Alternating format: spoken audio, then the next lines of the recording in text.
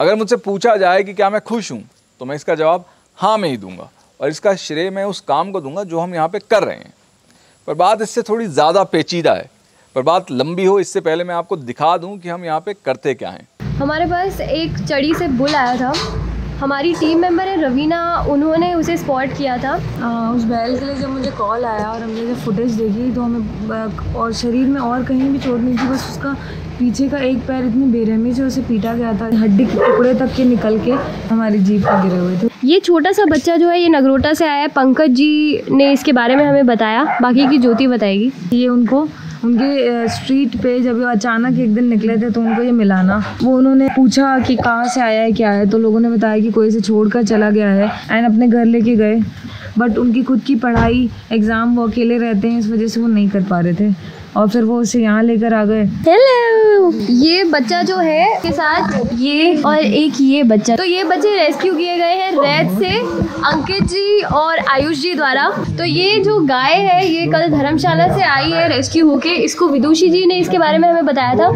यहाँ पे बेचारी को एक वूंड है। मैगेट वुंड है इसको लेकिन जैसे बहुत ज़्यादा डीप है ना ये। बस वही है कि रेगुलर ऑइंटमेंट एंटीबायोटिक अभी चलेगा। अभी मैं ट्रायो आई हुई हूँ ट्रायो वो जगह है जहाँ पे हमारे स्टाफ मेंबर तुषार जो हमारे फ़िल्म मेकर हैं और हमारे एक वॉल्टियर वैभव, वो वहाँ पे रहते हैं। और वो लोग फॉस्टर कर रहे हैं इन प्यारे प्यारे पपीज़ को जो हमारे पास कल धर्मकोट से रेस्क्यू होके आए थे। ये कितने प्यारे हैं और मतलब इनको देख के इतना दुख हो रहा है कि किस तरह के लोग होते हैं जो इतने इनको मासूम चेहरे नहीं दिखते ये और बोरी में इनको बंद करके फेंकने के लिए लेके जा रहे थे। डरे हुए बहुत हैं ये बच्चे क्योंकि इनके साथ जो भी हुआ है वो ऑब्वियसली बहुत ट्रॉमेटाइजिंग था। वी होप कि ये हमारे साथ खुल जाएँगे, घुल मिल जाएँगे। मुझे ऐसा लग रहा है टोफू ने पहचान लिया टैक्सी को। टैक्सी हमारे पास तुरंजा मिल से पहले भी एक बार आ चुकी है। इसको सर पे मैगेट वूंड था। ये ठीक हो गई थी, हमने इसको वापस रिलीज़ भी कर दिया था। इस बार फिर से वो आई है हमारे पास। एक अलग वूंड के साथ। कल शाम को हमारे पास एक डॉग आया। कहाँ से आया ज्योति ये? ये डॉग भाली से लेकर आए थे। एक्चुअली इसका पहले पिनिंग सर्जरी होनी है इसका यहाँ पे फ्रैक्चर है। पहले इसका पेट देख के हमें लगा कि ये प्रेग्नेंट है। जो कॉलर इसको लेकर आए थे, हमने उनको बताया कि हमारे पास जगह नहीं है और इसको पालमपुर लेके जाना है। वहाँ पे ये बताया गया कि ये प्रेग्नेंट नहीं है क्योंकि इसका अल्ट्रासाउंड वगैरह सब हुआ वहाँ पे। अभी इसके पेट में जो प्रॉब्लम है, जिसका हमें अभी कुछ पता नहीं चल रहा है, क्योंकि इसकी रिपोर्ट्स नहीं आई हैं और ये यूरिन भी पास नहीं कर रही है तो हमको यही बेटर लगा कि हम इसको यहाँ पे ही एक केज में शिफ्ट कर दें। जितना मेरी समझ में आया है ना, खुश रहना एक घर बनाने की तरह है। जैसे घर के लिए सबसे पहले आपको दीवारें चाहिए, छत चाहिए। इसी तरह ज़िंदगी में खुश रहने के लिए सबसे पहले आपको अपनी बेसिक इंसानी ज़रूरतें पूरी करनी पड़ती है। और जैसे घर में बिजली ना हो तो चीज़ें मुश्किल हो जाती है। इसी तरह ज़िंदगी में थोड़ा सा प्लेजर ना हो, थोड़ी सी एक्साइटमेंट ना हो तो ज़िंदगी भी रूखी सूखी हो जाती है। अब घर भी है, बिजली भी है, लेकिन घर खाली हो ना तो खाने को दौड़ता है। इसी तरह ज़िंदगी में भी आपको वो लोग चाहिए जो आप में दिलचस्पी रखते हो, आपको सुनते हो, आपको समझते हो। अब घर भी है, बिजली है, लोग भी हैं, लेकिन अंततः आपको लगेगा, यार, मैं आखिर यहाँ कर क्या रहा हूँ? और यहाँ पे आता है पर्पज़, यानी कि ज़िंदगी जीने का एक मुद्दा। और मैंने देखा है, जिनका ज़िंदगी जीने का मुद्दा दूसरों का दुख कम करना है ना, वो सबसे ज़्यादा खुश रहते हैं। मेरे साथ अभी हैं देव दीक्षा। ऋषभ विशाल। ये सभी आए हैं चुलबुली को लेने। तो हैप्पी हैप्पी हैं आप? शुरू से ही ख्वाहिश थी कि एक डॉग डॉग अडॉप्ट करना है। पहले भी डॉग अडॉप्ट ही किए हैं। बाय चुलबुली! आज गुड्डी घर जा रही है। देखो नखरे देखो इसके। Guddi's adopters are here and Guddi are going home तो आज सुबह सुबह ही हमारे पास तीन पपीज आए थे चंबी से। अभी देखते ही देखते उनके एक फ्रेंड हैं अर्पित जी वो एक पपी को अडॉप्ट कर रहे हैं।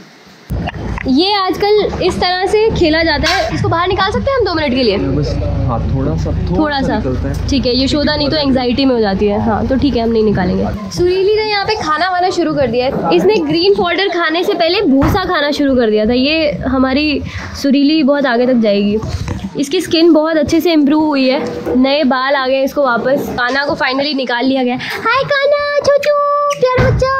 यशोदा भी मुझे ऐसा लगता है थोड़ी सी रिलैक्स हो गई हमें ट्रस्ट करने लग गई है अपने बेबी के साथ। मैं आई हूँ वहाँ पे जहाँ हमारे प्रोडक्ट्स बनते हैं और ये जो चंबी है, ये मुझे घूर रहा था थोड़ी देर पहले कि तू क्यों आई है यहाँ पे? वाह क्या खुशबू। वाह ये क्या है काकाओ चॉकलेट स्प्रेड जो बनती है हमारी क्रीमी वो इस काकाओ से बनती है। यहाँ पे भुन रहे हैं बादाम क्या बात है। हेलो नमस्ते जी आप कहाँ से आए हैं? जी मैं और आपको कैसा लगा पीपल फार्म विज़िट करके? ऑसम फीलिंग है मतलब मैं बता नहीं सकता मेरे पास लफ्ज नहीं है। मेरे ड्रीम हीरो थे जो मैं जिनसे मिला अभी और रॉबिन सी मैं बहुत इंस्पायर हूँ उनसे। Thank you sir thank you हिचकी हिचकी की तबीयत ठीक है अभी? ताव भर गया है और उसका थोड़ा सा पस आ रहा था तो उसके लिए हमने रखा हुआ था। इसको बीच में इसको थोड़ा फीवर भी था वो भी बस अच्छे से ठीक हो गया है। अभी हम लोग एक दो दिन और वेट करेंगे हम इसको भी रिलीज़ करेंगे जल्दी। जो है इसका नाम है फुलझड़ी ये हमारे पास आई थी? ये हमारे पास नर्व डैमेज की वजह से आई थी। ये नदौन से है। आ, अभी बहुत अच्छा रिकवरी हो रहा है। ये खुद से बहुत ज़्यादा एक्टिव हो गई है दौड़ती है अच्छा। थोड़ा बस है कि पैर में थोड़ी कमज़ोरी की वजह से वो कंटिन्यू स्टेबल नहीं रह पाती। तो आप अगर फुलझड़ी को अडॉप्ट करना चाहते हैं या फिर आप भिंडी को अडॉप्ट करना चाहते हैं ये भी इतनी प्यारी बच्ची है पंजाबी कुड़ी है ये हमारी। तो अगर आप इन दोनों में से किसी को भी अडॉप्ट करना चाहते हैं तो प्लीज़ हमारी अडॉप्शन लाइन पे फ़ोन कीजिए। साधना कट बोलते थे पुराने ज़माने में, ये जो बैंग्स आगे आती थी, इसको साधना हेयर कट बोलते थे। तो हमारे चाचू जी जो हैं, वो फुल ऑन स्टाइलिश हैं। थोड़े से डर जाते हैं, डर क्यों रहे हो? ये हमारा जीएसटी है, प्यारा सा बच्चा। ये चार महीने का है। जो इसके मालिक थे, उन्होंने इसको लिया था क्योंकि ये डिस्काउंट पे मिल रहा था, क्योंकि इसकी टांग में डिफेक्ट था। वो तीन पैर वाला कुत्ता रखने के लिए तैयार नहीं थे। तो हम लोग इसे यहाँ पीपल फार्म में ले आए।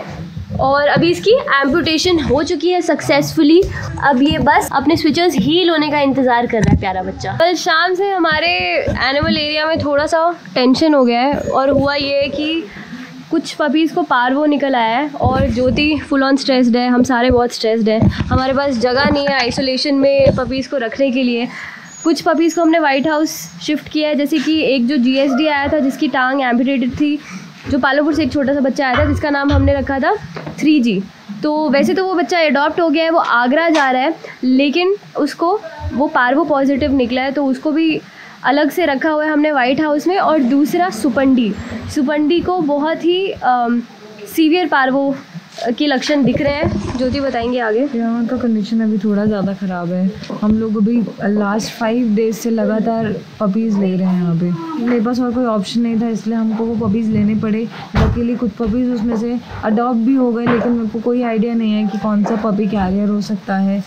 थैंक गॉड कि बाकी हमारे मोस्टली डॉग अडॉप्टेबल्स में जब मैंने पार्वो देखा ना तो हमारे सारे डॉग वैक्सीनेटेड हैं वैसे तो। हमारे पास दो पपीज़ ऐसे हैं जो वैक्सीनेटेड नहीं है तो फिर भी मुझे स्ट्रेस है कि मैं उनको कैसे प्रोटेक्ट करूँ। आज का हमारा दिन बहुत इंटेंस होने वाला है। यहाँ से पपीज़ को आइसोलेशन में लेके जाया जा रहा है। जो जो भी कर पा रहा है हमारे यहाँ पे फार्म में सदस्य, वो कर रहे हैं। हो सके तो आप भी फॉस्टर कीजिए। अगर आपको कोई पपी ऐसा दिखता है, कोई भी एनिमल ऐसा दिखता है, कोई डॉग ऐसा दिखता है, जिसको ट्रीटमेंट की ज़रूरत है और आप चाह रहे हैं कि आप हमारी हेल्प लें तो हम अपनी कैपेसिटी से ऊपर जाके अभी ऑपरेट कर रहे हैं। मैंने आपको एक अपडेट दिया था कि भाली से हमारे पास एक डॉग आई थी। उसका जो पेट था, वो पूरी तरह से ब्लोटेड था। सर, आप बताएँगे आज फाइनली यूरिन पास कर रही है? इसके आज में कैथेटराइजेशन कर दिया और कैथेटर से अब यूरिन पास हो रहा है इसका। और सर इसका एग्जैक्टली लाइक रूट कॉज क्या है कि इसका यूरिन पास क्यों नहीं हो रहा? है कोई आइडिया कॉज यही हो सकता है कि थोड़ा सा जैसे कि इसको फ्रैक्चर है तो अगली टांग में तो ज़ाहिर सी बात है कि हिट हुआ गाड़ी से तो थोड़ा बहुत तो नर्वस डैमेज नर्वस कंट्रोल से होता है ना ब्लैडर क्योंकि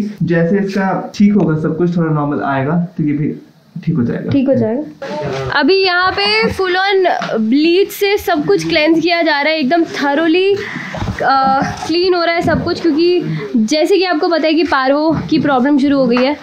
मैं हमारे आउट पेशेंट एरिया में हूँ नमस्ते जी।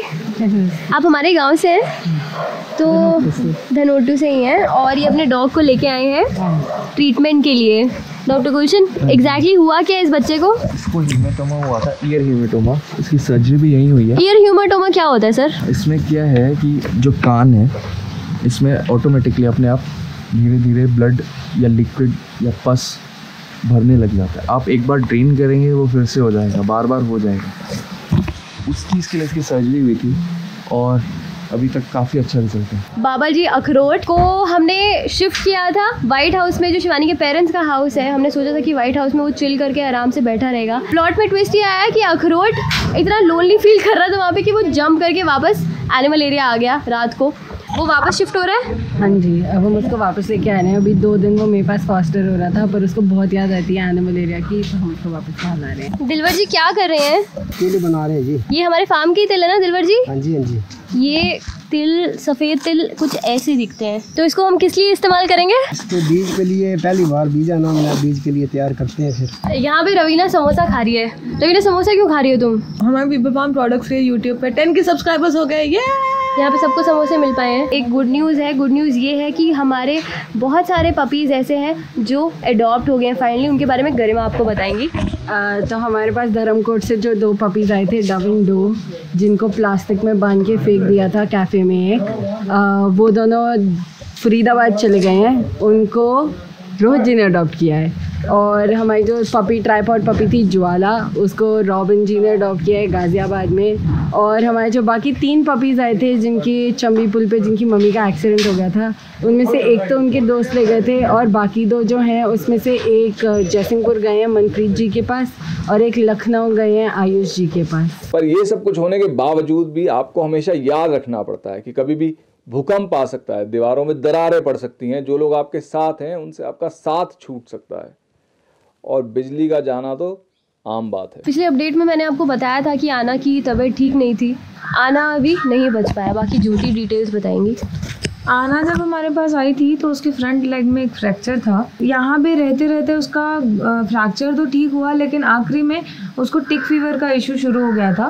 पूरी कोशिश की उसको वाइटामिन इंजेक्शंस लगाए फ्लूइड्स लगाए काफ़ी दिन। मल्टीवाइटामिन सिरप चल रहे थे उसके।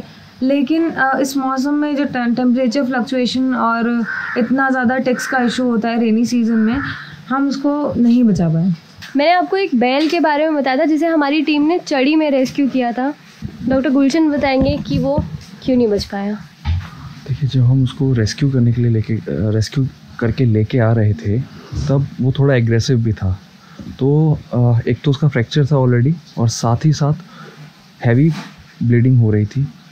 और जिस वजह से यहाँ लाने के बाद वो सरवाइव नहीं कर पाया। और इसके साथ जो दिल्ली चंडीगढ़ में हमारी हाल ही में अडॉप्शन हुई थी, जिनको लेके हम बहुत ज़्यादा एक्साइटेड थे, वो अडॉप्टर्स भी अपने निजी कारणों की वजह से बैक आउट कर गए। तो क्या मैं अभी भी खुश हूँ? बिल्कुल, ज़रूरतें अभी भी पूरी हैं। मेरे आसपास अभी भी वो लोग हैं जो मुझे समझते हैं। ज़िंदगी जीने का अभी भी मुद्दा है। हाँ बिजली गई हो तो थोड़ा मूड तो ऑफ़ होता है, पर वो तो थोड़ी देर में आ ही जाएगी। Música